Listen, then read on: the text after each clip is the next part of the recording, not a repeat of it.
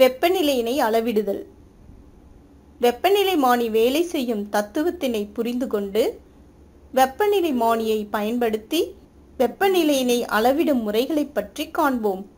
ஒரு பொருளில் உள்ள துகள்களின் சராசரி இயக்க ஆற்றலின் மதிப்பே வெப்பநிலை ஆகும்.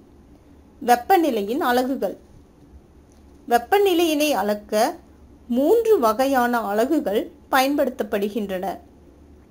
அவை செல்சியஸ் ஃபாரன்ஹீட் மற்றும் கெல்வின் ஆகும். செல்சியஸ் சி என்ற அழகாலும் ஃபாரன்ஹீட் எஃப் என்ற அழகாலும் கெல்வின் கே என்ற அழகாலும் எழுதப்படுகிறது. வெப்பநிலையின் எஸ்ஐ அலகு கெல்வின் ஆகும்.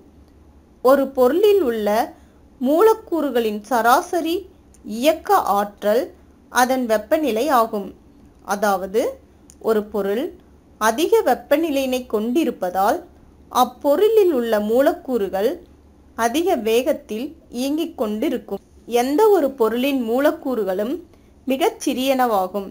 எனவே அவற்றினை பகுப்பாய்வு செய்து இயக்கத்தினை அதாவது இயக்க ஆற்றல் கணக்கிட்டு அதன் மூலம் வெப்பநிலையினை அளப்பது கடினமான ஒன்றாகும்.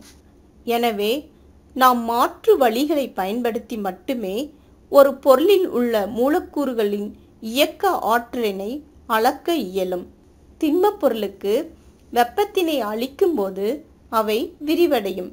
அதேபோல் திரவமும் வெப்பத்தினால் விரிவடையும். வெப்பநிலை மானியில் உள்ள திரவமானது வெப்பப்படுத்தும் போது விரிவடைகிறது. குளிர்ச்சி அடையும் போது சுருங்குகிறது. இதன் மூலம் வெப்பநிலையானது அளவிடப்படுகிறது. திண்மம் மற்றும் திரவங்களின் வெப்பத்தினால் ஏற்படும் விளைவுகளை நாம் வாயுக்களிலும் காண முடியும்.